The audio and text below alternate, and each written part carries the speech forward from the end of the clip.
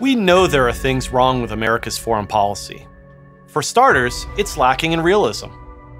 I'm William Ruger. I'm a political scientist, a Navy Reserve officer who served in Afghanistan, and I'm a realist. I'm an advocate for a foreign policy based on both realism and restraint.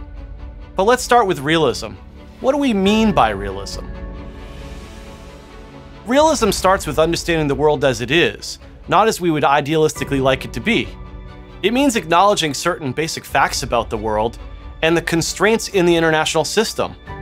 It's hard to project power across national boundaries, because the enemy gets a vote when you try. Water, especially oceans, provides security, and the US is secure behind two oceans with weak, friendly neighbors. Nuclear weapons have changed security considerations significantly. What are the real threats as opposed to those inflated, often by self interested actors? Because there are real threats. The international system isn't beanbag. A policy based in realism recognizes that the international system is characterized by anarchy, where nation states have no higher authority to address disputes. There is no 911 to call. This leaves states responsible for their own security and survival. It's a self help world meaning each state has to solve problems for itself, sometimes on its own. That is why realists appreciate the need to maintain a strong national defense, avoid dependence on others, worry about the balance of power, and think strategically about how they engage the world. And because all states rationally do this and pursue their interest in survival, it creates security competition, including arms races, and can lead to war.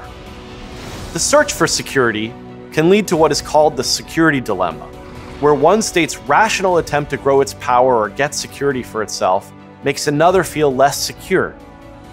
That second state may then take steps to protect its own self, but end up worrying the first state in the process. An action reaction process can set in, leading all to feel act and be less secure. Think of a neighbor who starts suddenly patrolling his yard nightly with a shotgun, and how the other neighbors might feel. Power matters, and the US needs to have a strong national defense. In fact, having the ability to defend one's nation is paramount for any realist. Now, how we effectively execute that, I think naturally leads to the premise that for a country like the United States, restraint is the best approach.